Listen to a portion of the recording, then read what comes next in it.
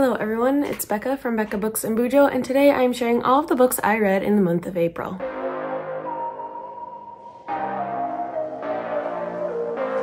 So let's just jump right in. The first book I completed in April was The Last Thing He Told Me by Laura Dave.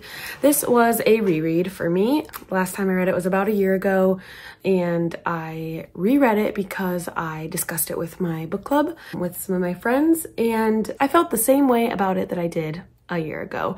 I felt like it was very slow paced. It didn't have the mystery thriller punch that I hope for uh, in a in a mystery thriller. And so um, this one wasn't super lovely for me. This one is about a woman named Hannah and she is married to Owen who has a daughter, Bailey. And one day Owen disappears with a short little note that says protect her. And Hannah and her stepdaughter, Bailey, have to figure out where Owen went, what was wrong, and why he, uh, why he disappeared. So it has the makings for a really good mystery thriller, but it just didn't measure up for me. Um, also, there was stuff kind of with like a mafia. I'm not so sure if um, that's what the technical term that you would use, um, but I just don't understand that aspect of it, and it just was so far removed from anything that I've ever experienced, and so I just don't think it was the right book for me at the right time. I gave it a two out of five stars. So then I read The Escape Room by Christopher Edge, and this was a middle grade novel that I just found available on um, my Libby app. And so I decided to read it because I thought it would be short and easy. And I love escape rooms, and so I thought I would enjoy this book.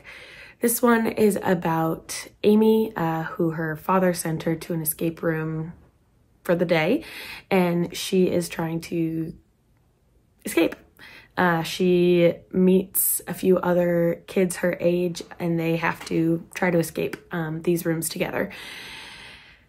And this one took a very ugly turn. I did not like this one really at all. The suspense was good, I give it that. But the fact that everyone besides the main character dies, I don't think that's, well, maybe it's a spoiler sorry, really made it much more dark than I think it needed to be. And then there was this crazy AI twist in the end that I just was not there for. I didn't, I just didn't feel it. So I gave it a two out of five stars just because I love escape rooms and I feel like it was kind of fun to try to escape these rooms with Amy, but the rest of it was really almost horrific and not for middle schoolers in my brain. Okay, then uh, next we have People We Meet on Vacation by Emily Henry. This one is a lot of people's favorites, and so that's why I went into it with really high expectations and I was a bit disappointed. This one is about a pair of friends, Poppy and Alex, who have gone on a summer vacation together for the past 12 years, I think. And they had a falling out a couple of years ago. You don't understand what the falling out is until the very end of the book. Um, but we follow along the summers and then also the present day vacation that they are on, um, where they're trying to reconcile and fix uh, their relationship. It was a sweet friends to enemies to lovers romance, but it just wasn't like that. Oh, I love it that I wanted it to be. Yeah, it was just a little bland a little disappointing, also predictable, I think. So sorry if I have an unpopular opinion here, but I gave this one three out of five stars. I know it was some people's favorite books of the year last year, and I would love to have discussions with some of you below as to why this was your favorite book. And maybe you could change my mind on it, I guess. I don't know. So then next I read A Little Hope by Ethan Joella. This is one I had never heard of before until I saw it on Book of the Month. And I am so glad I got it. This one focuses on a small little town in Vermont. I think it's Vermont. Wrong, Connecticut. Really close geographically, but this one focuses on a small town in Connecticut and the various lives of a few of its citizens. This one has so many life lessons in it, and I was marking pages. I dog eared them because I had no other way to mark them, but I have two whole pages of quotes in my book journal from this book alone. And it was about love and loss and hope and grief. Hope, obviously. But basically, that in any situation, you have to find the little bit of hope in order to get through it. And it just was really beautifully written. I would love to know if anybody else has read this one because I haven't seen this one really anywhere around. So comment down below if you've read it and I'd love to discuss it with you. This one I gave a four and a half, I think. Yeah, four and a half out of five stars. It was so close. It's just that the ending wasn't gorgeous like I thought it was going to be. It just kind of drove off into the distance, if you catch my drift. That's literally what happens in the end of the book. Someone drives off into the distance. But so good. The first 80% of the book, it was going to be five out of five stars for me, but just the ending fell a little short. Ultimately, loved it. A Little Hope by Ethan Joella. Then, let's see, what was next? Ah, yes, I read The Bread the Devil Knead by Lisa Allen Agostini. I saw this on Jennikreads' channel and I agree with Jenny in that she couldn't put it down. It was just such an intriguing story and made me want to keep reading. This one is about a woman named Alethea in a town in Trinidad and Tobago, and she is in an abusive relationship and has been in a, an abusive relationship in some form since she was five years old. And so it was a very tragic story, very difficult topics, and very hard to read at times. This poor woman is dealing with so much trauma and it's really weighing her down in her life and she's not even realizing it. And so then when someone from her past shows up in her life, uh, she is forced to face these demons and come to terms with what that trauma that she faced in her childhood is doing to her present life.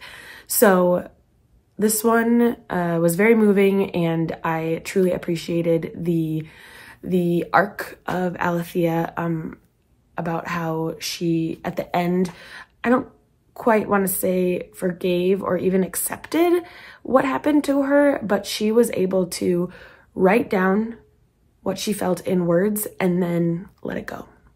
And I really admire her to be able to do that because the things she went through whew, were just horrid.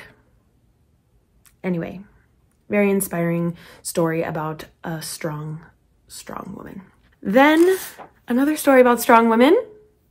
I read Hidden Figures by Margot Shetterly. The subtitle is The American Dream and the Untold Story of the Black Women Mathematicians Who Helped Win the Space Race.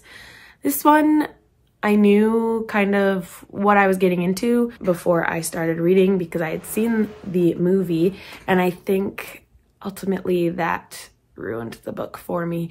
I was again disappointed with this one. Unfortunately, I don't think I had a super great reading month, but this one is basically about the black women who worked at NACA before it turned to NASA in getting man into space and then man onto the moon, but it was very dry and slow.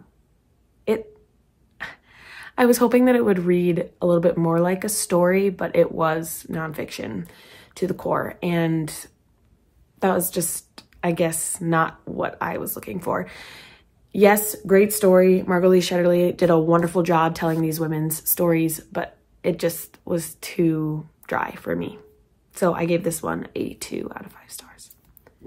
Then we have Southernmost by Silas House. I literally just finished this one and it was so surprising. This is one that my husband gave me a few years ago. He went on a trip with his students, his band, um, to Nashville and he picked this up for me as a little present while he was away. And I was like, oh, thanks. Because I didn't think the synopsis sounded great. And then when I got this book on my deck of TBR for the month of April. It was actually a husband pick and he picked it for me to read. I was like, ugh, great. I'll, I'll read it. Fine. I'll get through it. But I was so nicely surprised at this one. This is about a pastor in Tennessee named Asher and his wife and son. Primarily, we focus more on the father and son relationship. The main character, Asher, has somewhat of an epiphany. He grew up in the tradition that gay marriage and homosexuality was a sin and not to be accepted. And his values on that change when two men show up in his small town in Tennessee and he welcomes them into his church and gets shunned from his community, uh, leads to divorce with his wife and a broken relationship with his family. Then we also learn about the fact that he has a brother who he is estranged from because he was gay. And so when, or he is gay. And so after he gets a divorce from his wife and loses custody of his son, he decides to take this whirlwind trip uh, with his son. He kidnaps his son. I don't know if anybody's going to read this book, but sorry, I gave it away. He kidnaps his son and tries to find his brother to mend that relationship. And this one, I really liked the religious aspect of it. I don't usually like when books are so enmeshed in religion and God, but this one had a great just undertone of religion the whole time. It was definitely present and necessary in this book uh, with the storyline, but very nicely written in there. Uh, Silas House did a good job with that. And then I think the other thing that um, just really stood out to me was the idea of the everything. Um, so every once in a while, a chapter is entitled The Everything, and we learn from the characters what the everything is.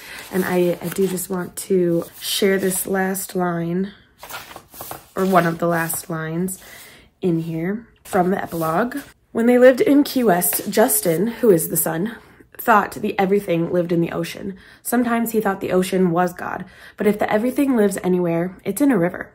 Because the river moves along and touches every little thing on its way. And he thinks the everything would be quiet like a river, even still sometimes. The ocean is always moving and noisy. The sky is always changing, but rivers are always there, even when the water has moved on. You've got to find the everything wherever you are. That's what Justin believes, and that's why God is the everything, because there's God in oceans and rivers and dogs and little boys. So I just really liked that. And if you are a believer, I think you would enjoy this. And I think if you aren't, I also think you would find some merit in this book as well. Um, just knowing that there's something greater than. So that was a good book. And now we are going to end the video this portion of the video because I have two days left in the month and I am really, really hoping I can finish one more book. And so if I do, I will recap that right now. And if not, I'll come in with an outro. Okay, so I know I said either I'd be here with that I completed the book or an outro, but it's neither because I didn't complete the book, but I am 75% of the way through and it is 8.20 p.m. on April 30th and I am still thinking I'm going to complete it. So I'll tell you about it now. This one is This Tender Land. Where is it? I don't even have it with me because I'm listening to it. Anyway, this is, I'll put a picture right here.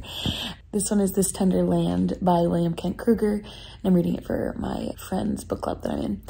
And this one is about four teenagers, kids uh, that are vagabonds. They are canoeing down the Mississippi River and going on a crazy odyssey of a journey. It is split into parts where a significant thing happens in each part, and I really liked how that was split up. And I've read this one before. I read it a couple of years ago, but rereading it because I'm leading the discussion on it on Monday. And so that's why I thought it was fair that I could review it for you before I actually finish it. This one is really, really good. Uh, for some reason, when I read it a couple of years ago, I gave it a four out of five stars, and I think it could be four and a half to five out of five stars. I'm really looking forward to discussing it, and I really recommend William Kent Krueger to anyone who has not read him. He has a mystery thriller series out, but his Ordinary Grace is really, really good. And then This Tender Land is great. So if you have not read that, I suggest it. Anyway, those are the eight books I read in the month of April. I hope you enjoyed this video. Please give it a thumbs up if you did. Subscribe if you haven't already. And we will see you in the next one. Bye.